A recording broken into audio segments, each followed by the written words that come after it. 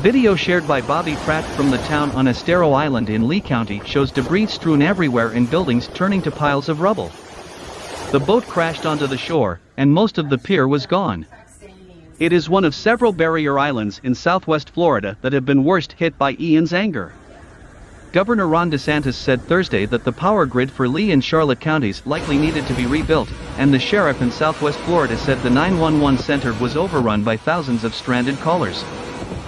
Some with life-threatening emergencies. But Charlotte County Director of Management Patrick Fuller expressed cautious optimism that the worst-case scenario might not materialize.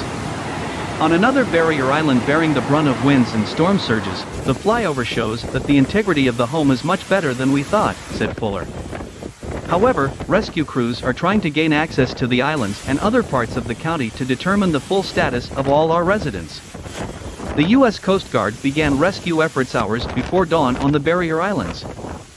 DeSantis said.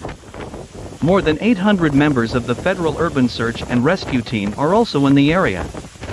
A piece of the Sanibel Causeway fell into the sea, cutting off access to the barrier island where 6,300 people normally live. The bridge connecting Pine Island to mainland Florida is also impassable, DeSantis said.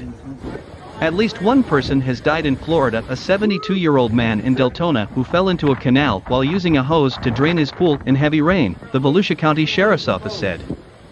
Two other hurricane deaths were reported in Cuba. Images of the devastation wrought by Hurricane Ian's strong winds were revealed on Thursday as residents chose to stay outside.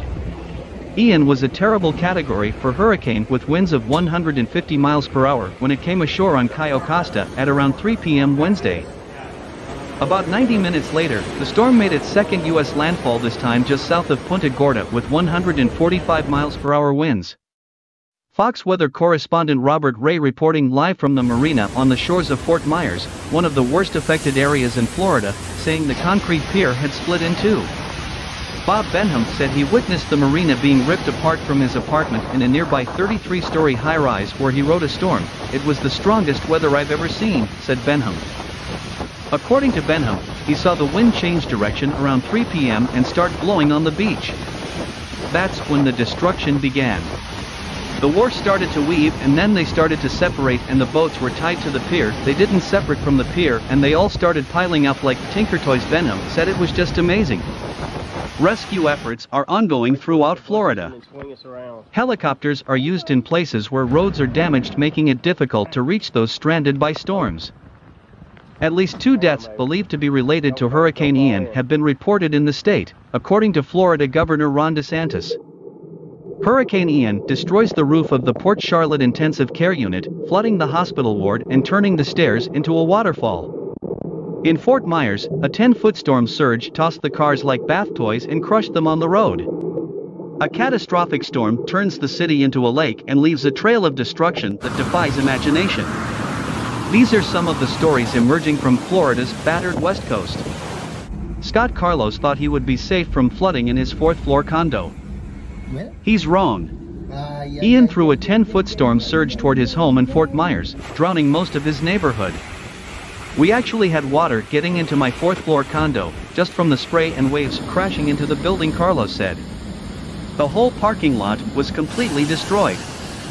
At one point he said the water was at least 10 feet high on our east side, which is right across the street from the beach. As he surveyed his surroundings after the storm, he saw debris everywhere, Everyone's garage is basically just telling. Carlos says cars everywhere are wrecked on the road. Most of them actually went across the street. The need for air rescue was so urgent that members of the Coast Guard began rescuing residents while Ian was still pounding the area. We didn't even wait for the storm to pass last night. We have helicopters in the air. Coast Guard Admiral Brendan McPherson said Thursday. We rescued 13 people along the coast between Fort Myers and St. Petersburg. That number could pale in comparison to the number of people still needing to be rescued on Thursday. We are preparing for what will be a very busy search and rescue day, said McPherson. Right now we have a plane in the air with the Florida National Guard actively pulling people off the roof at Fort Myers. Oni Atkins of CNN affiliate WESH reported in Orlando when a driver tried to cross a submerged road Thursday morning it didn't work. The rapidly rising floodwaters flooded the woman's car and threatened to wash her away. The car finally got stuck then I saw a hand come out, I heard Health Atkins say. He searches for the crocodile that dropped the power cord and the first responders who can save the woman. But no one was there, he said. So dark. She didn't seem to care much about cars, but she was very worried and had to get to work, where she worked as a nurse. Saving lives is definitely the main thing for him, trying to work during the storm. Medical staff at the Port Charlotte Intensive Care Unit had expected a strong storm, but nothing so severe. We have about 160 patients at home and our roof is off the roof over the ICU, oh said Dr. Birgit Bodine, internal medicine specialist. We had a torrential downpour coming, which then descended the stairs, which then went up to another floor. A staff member wading through the murky water transferred the patient to a safer part of the building. Some rooms built for two people suddenly accommodate three or four people. Said Bodine.